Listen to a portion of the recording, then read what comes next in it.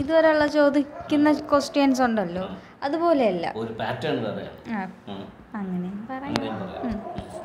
അതായത് അങ്കിൾ കൂടുതൽ ഫോക്കസ് ചെയ്യുന്നത് യൂത്തിനെയാണല്ലോ നമ്മളെ പോലെയുള്ള വ്യക്തി കുഞ്ഞുങ്ങളെയാണല്ലോ ഇതാ ഫോക്കസ് ചെയ്യുന്നത്. അപ്പോൾ അങ്കിളിന്റെ വീഡിയോ എനിക്ക് തോന്നുന്നു കൂടുതലും കാണുന്നതും. എടുത്തിട്ട് വിമർശിക്കുന്നതെല്ലാം ഒരു ഒരു മുപ്പത്തഞ്ച് നാൽപ്പത് വയസ്സിന് മേലെയുള്ള ആൾക്കാരാണ്. ആണ്. ഞാൻ ശ്രദ്ധിച്ചിട്ടുണ്ട് അത്. അവരാണ് വിമർശിക്കുന്നതൊക്കെ. പ്രത്യേകിച്ചും ക്രിസ്ത്യൻ കാറ്റഗറീസ്. ഞാൻ ചോദിക്കുന്നത് ആ യൂത്തിന് സ്പിരിച്വാലിറ്റി എന്ന് പറയുമ്പോൾ. അവർക്ക് പെട്ടെന്ന് ക്യാച്ച് ചെയ്യാൻ പറ്റുന്ന രീതിയിൽ അങ്ങൾ പെട്ടെന്ന് എന്തുമായിരിക്കും അവരോട് പറയുന്നത്? സ്പിരിച്വാലിറ്റി എന്ന് പറയുന്നത് ഡൂസ് ആൻഡ് ഡോൺസ് അല്ല. അത് ചെയ്യരുത് ഇത് ചെയ്യരുത് അങ്ങനെ പോകരുത് ഇങ്ങനെ പോകരുത് അത് പാപമാണ് ഇത് പാപമാണ് ഇതൊന്നും ദൈവത്തിന് ഇഷ്ടമില്ല. ശിക്ഷിക്കുന്ന ഒരു രീതിയിലുള്ള ദൈവത്തെയാണ് ആര് പ്രൊജക്റ്റ് ചെയ്യുന്നത്? മതം പ്രൊജക്റ്റ് ചെയ്യുന്നത്. അതുകൊണ്ട് മതമാണ് സ്പിരിച്വാലിറ്റി എന്നുള്ള രീതിയിലാണ് യൂത്ത് അല്ല എന്ത് ചെയ്യുന്നത് പിൻവലിഞ്ഞ് നിൽക്കുന്നത് അവർക്ക് ഈ ഡൂസ് ആൻഡ് ഡോൺസ് ഇഷ്ടമില്ല. ചെയ്യരുതെന്ന് പറഞ്ഞാൽ അതേ യൂത്ത് എന്ത് ചെയ്യത്തുള്ളൂ? ചെയ്യത്തുള്ളൂ. അപ്പോൾ മതം പറയുന്നത് അങ്ങനെ ആയതുകൊണ്ടാണ് മതം പറയുന്ന സ്പിരിച്വാലിറ്റി എന്ന് യൂത്ത് മാറി നിൽക്കുന്നത് പക്ഷെ നമ്മൾ പറയുന്ന സ്പിരിച്വാലിറ്റി എന്താ? അങ്ങനെ ഡൂസ് ആൻഡ് ഡോൺസ് ഇല്ല. എന്തും ചെയ്യാനുള്ള സ്വാതന്ത്ര്യം ആര് നൽകിയിട്ടുണ്ട്?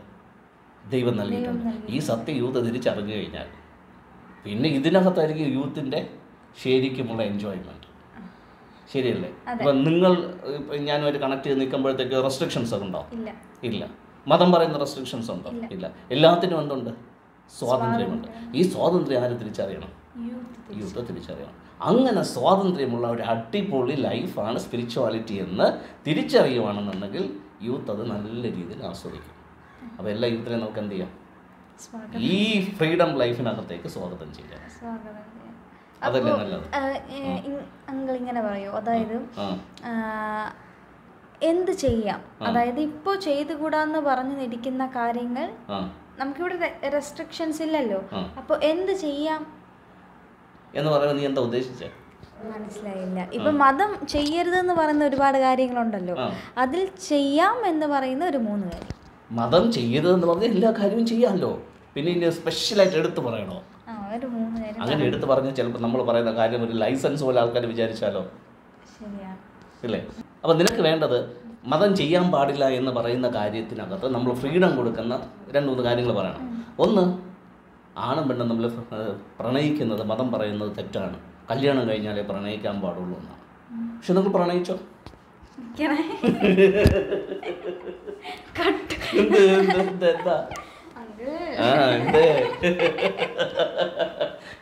ഞാൻ വേണ്ടാന്ന് പറഞ്ഞിട്ട് നീ കട്ട് തിന്നുന്നില്ലേ?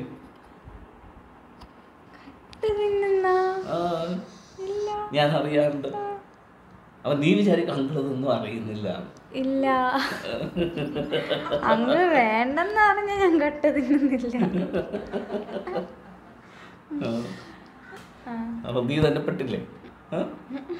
പറ ഇതിന്റെ അടുത്ത്. അപ്പം എന്ത് ചെയ്യാം? ആണിനും പെണ്ണിനും പ്രണയിക്കുന്നതിനകത്ത് ദൈവം എന്ത് ചെയ്യുന്നില്ല സ്പിരിച്വാലിറ്റി എന്ന് പറയുന്നില്ല തെറ്റൊന്നും പറയുന്നില്ല. പക്ഷെ മതം പറയുന്നത് കല്യാണം കഴിഞ്ഞാലേ എന്ത് ചെയ്യാവും? പരസ്പരം സ്നേഹിക്കാവും. സ്നേഹിക്കാം അപ്പോൾ ഇത് ഒരു കാര്യമാണ്. അതുപോലെ തന്നെ നമ്മുടെ മതം പറയുന്നത് അപ്പനും അമ്മയും മതവും പറയാത്ത കാര്യങ്ങളൊന്നും നിങ്ങൾ പോയി എൻജോയ്മെന്റ് ചെയ്യരുത്. കൂട്ടുകാരൊത്ത് കൂട്ടുന്നത് സിനിമ കാണാൻ പോകുന്നത് അല്ലെങ്കിൽ ഒരു മ്യൂസിക് പ്രോഗ്രാം കാണാൻ പോകുന്നത്. അപ്പം ഇങ്ങനെയുള്ള ഈവന്റുകൾക്കൊന്നും പോയി നിങ്ങൾ എന്ത് ചെയ്യരുത്? രസിക്കരുത്. അപ്പോൾ ഒരു സിനിമ കാണാൻ പോകുന്നത് തെറ്റല്ല. ഒരു മ്യൂസിക് ഈവന്റിൽ പോകുന്നത് തെറ്റല്ല. ഒരു സിനിമ പാട്ട് പാടുന്നത് തെറ്റല്ല. സോ ഇങ്ങനെയൊക്കെയുള്ള എൻജോയ്മെന്റിനകത്ത് നമ്മൾ എന്ത് വേണം? പാർട്ടിസിപ്പേറ്റ് ചെയ്യണം. ഓക്കെ അപ്പോൾ ഇന്ന് ഏറ്റവും കൂടുതൽ സ്പിരിച്വാലിറ്റി ആസ്വദിക്കുന്നത് സിനിമ ഫീൽഡാണെന്ന് നിനക്കറിയാമല്ലോ അറിയാം. സിനിമ ഫീൽഡിൽ നിൽക്കുന്ന എല്ലാവരും വളരെ കുറച്ച് ആൾക്കാരെ മാറ്റി നിർത്തി എല്ലാ ആൾക്കാരും സ്പിരിച്വാലിറ്റിയായിട്ട് കണക്റ്റഡ് ആണ്. അവർ ഏത് സ്പിരിച്വാലിറ്റിയാണ് ഫോളോ ചെയ്യുന്നത്? മതം പറയുന്ന സ്പിരിച്വാലിറ്റി അല്ല. പക്ഷെ അവരുടെ ലൈഫിനകത്ത് എന്തെങ്കിലും ആഘോഷത്തിനോ ഉല്ലാസത്തിനോ സന്തോഷത്തിനോ കുറവുണ്ടോ? ഇല്ല. ഇല്ല. സോ ആ രീതിയിലാണ് സ്പിരിച്വാലിറ്റി കൊണ്ടുപോകേണ്ടത് പിന്നെ വേറൊരു കാര്യം ഇപ്പോഴത്തെ യൂത്തിനെ എടുത്ത് നോക്കുകയാണെങ്കിൽ ഞാൻ ഒരുപാട് വീഡിയോസ് കണ്ടു. ഇപ്പോഴത്തെ ജനറേഷൻ പോയിക്കൊണ്ടിരിക്കുന്നത് ദൈവമില്ല എന്ന് പറയുന്ന ഒരു കോൺസെപ്റ്റിലേക്കാണ് അത് സത്യമാണ് ഈ യുവജനങ്ങൾ പറയുന്ന കോണ്ടസ്റ്റ് സത്യമാണ് അവർ പറയുന്നത് ഏത് ദൈവം ഇല്ലെന്നാണ് മതം പറയുന്ന ദൈവം ഇല്ല മതം ഓരോ മതവും പ്രൊജക്റ്റ് ചെയ്യുന്ന ദൈവമുണ്ട്. അങ്ങനെ ഒരു ദൈവം ഇല്ല ആ ദൈവം ഇല്ലെന്ന് ആര് പറയുന്നത് യൂത്തും പറയുന്നത് അത് സത്യമാണ് മിഥ്യയാണ്? സത്യം. സത്യമാണ്. സോ അങ്ങനെ ഒരു ദൈവം എന്ന് തന്നെയാണ് നമ്മളും പറയുന്നത്. പക്ഷേ ഒരു പ്രപഞ്ച സൃഷ്ടാവുണ്ട്.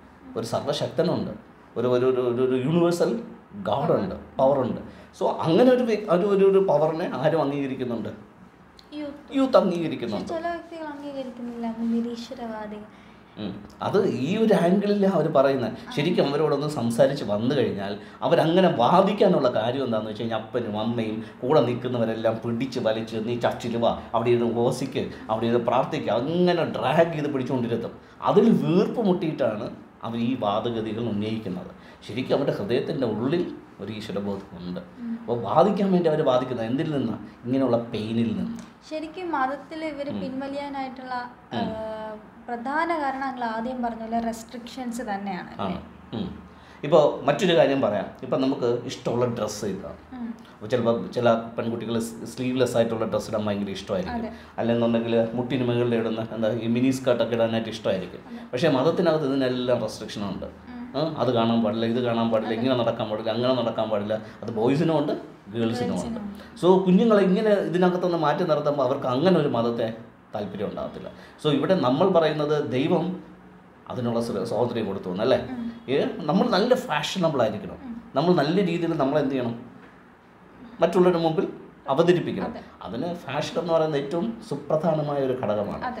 അതായത് ട്രെൻഡി ആയിട്ടുള്ള ഡ്രസ്സ് ഇട്ട് കഴിഞ്ഞാൽ ആൾക്കാർ എപ്പോഴും നോട്ട് ചെയ്യുകയും ചെയ്യും. മാത്രമല്ല നമുക്ക് തന്നെ നമ്മളുള്ള ഒരു കോൺഫിഡൻസ് ലെവലും കൂടും.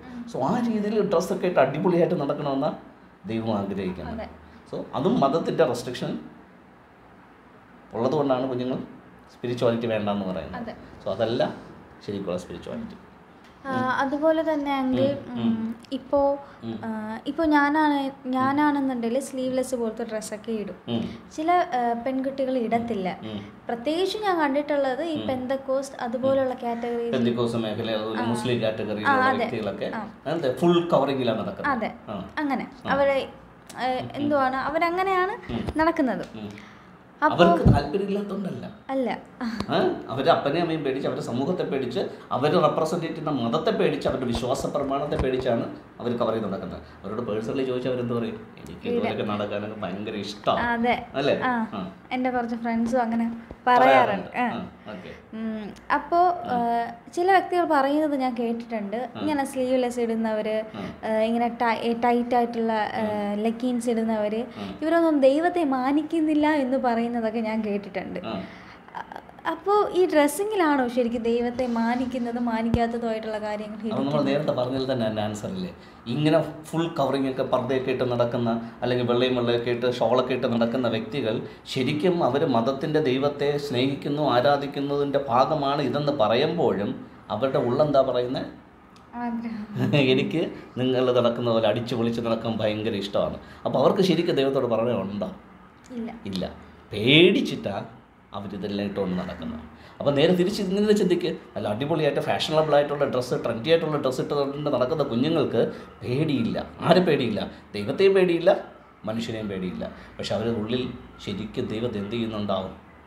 ആസ്വദിക്കുന്നുണ്ടാവും. ഓക്കെ. അപ്പോൾ ഈ പുറം പൂച്ചുകളിലല്ല ദൈവികമായ ബന്ധത്തിന്റെ മാനദണ്ഡം. എവിടെയാണ് അകത്ത. ഹൃദയത്തിലാണ്. അത് ഒരിക്കലും നമ്മൾ പുറമെ പ്രകടിപ്പിക്കണമെന്നും ദൈവം ആഗ്രഹിക്കുന്നില്ല. അത് ഉള്ളിൽ തന്നെ സൂക്ഷിക്കേണ്ട കാര്യം. അത് പ്രൈവസിയുള്ള കാര്യമാണ്. ദൈവവുമായിട്ടുള്ള ബന്ധം എപ്പോഴും പ്രൈവസിയിൽ സൂക്ഷിക്കേണ്ട കാര്യമാണ്. അപ്പോൾ ജീസസ് ക്രൈസ്റ്റ് പ്രാർത്ഥിക്കാൻ പഠിപ്പിച്ചപ്പോഴും അങ്ങനെ പറഞ്ഞില്ലേ? നിങ്ങൾ പ്രാർത്ഥിക്കുമ്പോൾ തെരുവ് അവിടെ നിന്ന് പള്ളി പള്ളിയിൽ നിന്നും തെരുവുകളിൽ നിന്നും അതിഭാഷണത്താൽ പ്രാർത്ഥിക്കുമ്പം എന്തെങ്കിലുമൊക്കെ സംഭവിക്കുമെന്ന് നിങ്ങൾ കരുതുന്നത് ഒന്നും സംഭവിക്കത്തില്ല. പക്ഷെ നിങ്ങൾ പ്രാർത്ഥിക്കുമ്പോൾ എങ്ങനെ പ്രാർത്ഥിക്കണം? രഹസ്യത്തിൽ.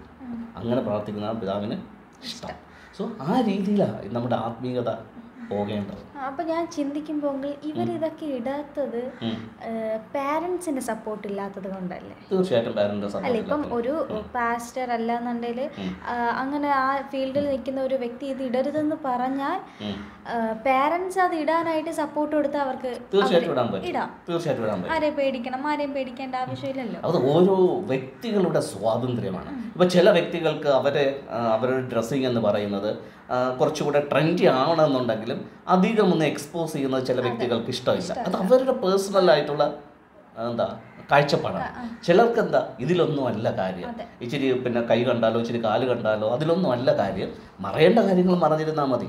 പക്ഷേ എന്താ ഫാഷനബിൾ ആയിരിക്കണം. അത്. ഓരോരുത്തരുടെ ഇൻഡിവിജ്വൽ ആയിട്ടുള്ള താല്പര്യത്തിൽ നിന്ന് വരുന്നതാണ്. ഓക്കെ. ചിലർ മുടി നീട്ടി വളർത്തും. ചിലർ എന്ത് ചെയ്യും ക്രോപ്പ് ചെയ്യും. സോ അത് പെണ്ണുങ്ങളെല്ലാം മുടി നീട്ടി വളർത്തണം വളർത്തണമെന്നുള്ള നിർബന്ധമൊന്നുമുണ്ടോ? ഇല്ല. സോ ക്രോപ്പ് ചെയ്താലും നീട്ടി വളർത്തിയാലും അത് അവരവരുടെ കംഫർട്ടിനനുസരിച്ചാണ് സോ ആ രീതിയിൽ എന്ത് ചെയ്താലും എൻജോയ് ചെയ്ത് ചെയ്യണമെന്നാണ് ദൈവം ആഗ്രഹിക്കുന്നത്. മനസ്സിനകത്ത് പിറുപിറുപ്പോടെ ചെയ്യുന്ന ദൈവത്തിന് ഇഷ്ടമില്ല. അതല്ലേ നല്ലത്? ഓക്കെ അപ്പോൾ ഇനി എന്താ യൂത്തിന്റെ അടുത്ത കൺസേൺ ഇല്ല. ഓക്കെ അപ്പോൾ കുറേ കാര്യങ്ങൾ നമ്മൾ പറഞ്ഞില്ല?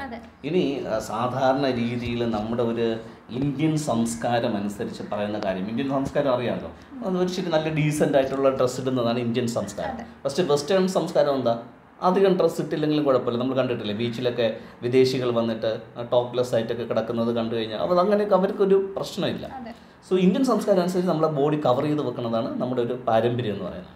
പക്ഷേ ഇതിനകത്ത് വരുന്നൊരു കാര്യം എന്ന് വെച്ച് കഴിഞ്ഞാൽ എന്തുകൊണ്ട് ഭാരതത്തിനകത്ത് ഇങ്ങനെ വിചാരി ഇങ്ങനെ വെച്ചിരിക്കുന്നു ചോദിച്ചു കഴിഞ്ഞാൽ ഭാരതത്തിന്റെ ഒരു സ്കിൻ ടോൺ അനുസരിച്ച് അല്ലെങ്കിൽ ഭാരതത്തിന്റെ മനുഷ്യരുടെ ഒരു ശരീരഘടന വെച്ചിട്ട് പുരുഷന്മാർക്ക് അട്രാക്റ്റീവായിട്ടുള്ള രീതിയിൽ നമ്മൾ അപ്പിയർ ചെയ്ത് കഴിഞ്ഞാൽ അത് അവരിലൊരു ടെംപ്റ്റേഷൻ ഉണ്ടാക്കുമെന്നുള്ള ഒരു ഒരു മനോഭാവം എവിടെയുണ്ട്?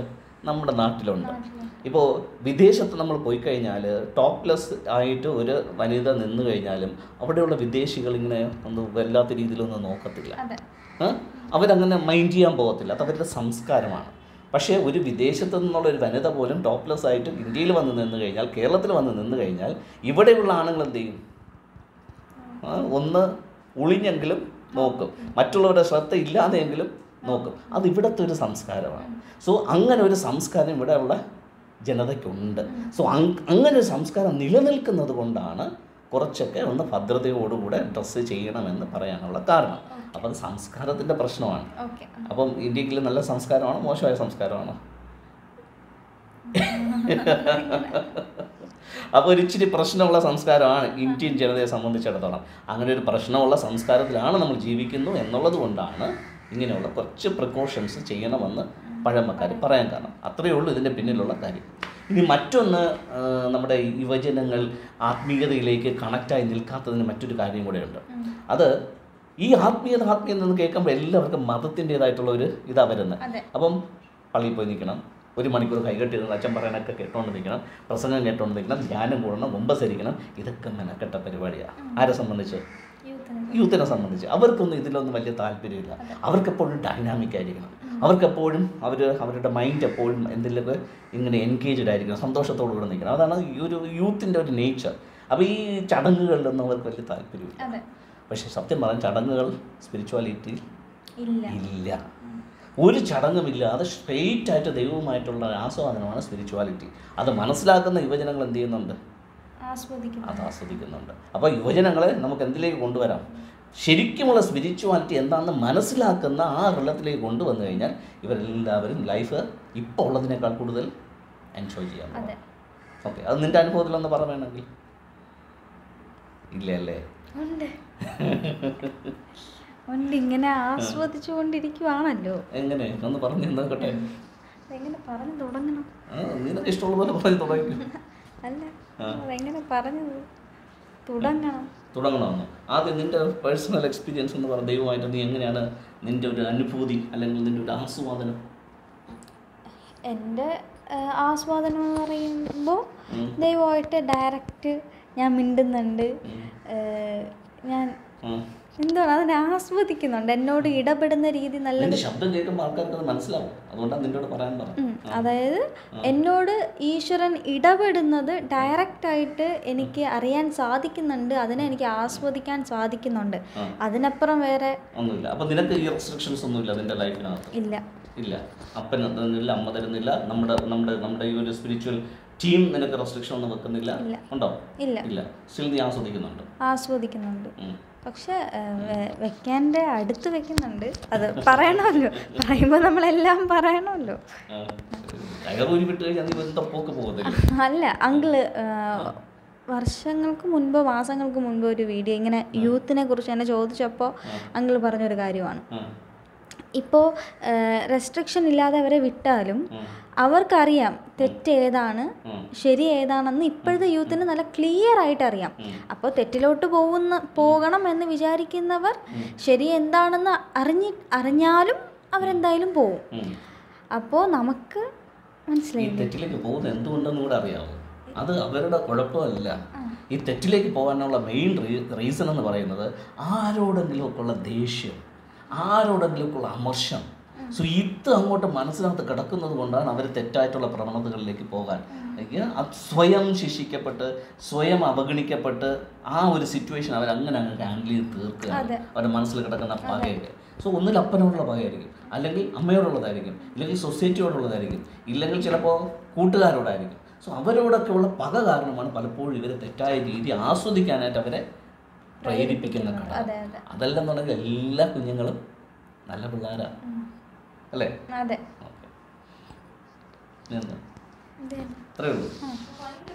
സ്പിരിച്വാലിറ്റിയിലെ എല്ലാ യൂത്തിനെയും സ്വാഗതം ചെയ്യണ്ടേ സ്വാഗതം ചെയ്യണം. അപ്പോൾ നീ സ്വാഗതം ചെയ്യണം നിന്റെ നമ്പരും നിന്റെ അപ്പോൾ ഇത് കാണുന്ന എല്ലാ യുവജനങ്ങളെയും നമ്മുടെ ഈ സ്പിരിച്വൽ ഫാമിലിയിലേക്ക് ഈ സ്പിരിച്വാലിറ്റിയിലേക്ക് സ്വാഗതം ചെയ്യുന്നു. നമ്മുടെ സ്പിരിച്വൽ ഗാങ്ങിലേക്ക് വരണോ വരണ്ടേ എന്നുള്ളത് രണ്ടാമത്തെ വിഷയം. ശരിക്കും എല്ലാ കുഞ്ഞുങ്ങളും എന്ത് ആസ്വദിക്കണമെന്നാണ് നമ്മുടെ ആഗ്രഹം? സ്പിരിച്വാലിറ്റി സ്പിരിച്വാലിറ്റി അവർ അവരുടെ ലൈഫിനകത്ത് ആസ്വദിക്കണമെന്നാണ് നമ്മുടെ ആഗ്രഹം. നമ്മളുമായിട്ട് കണക്ട് ചെയ്യണോ വേണ്ടേ എന്നുള്ളത് അവരുടെ ഇഷ്ടമല്ല? അതെ അപ്പോൾ എല്ലാവരെയും ഞാൻ സ്പിരിച്വാലിറ്റി എന്ന് പറയുന്ന ലോകത്തേക്ക് കണക്ട് ചെയ്യുന്നു. അല്ല സ്വാഗതം ചെയ്യുന്നു.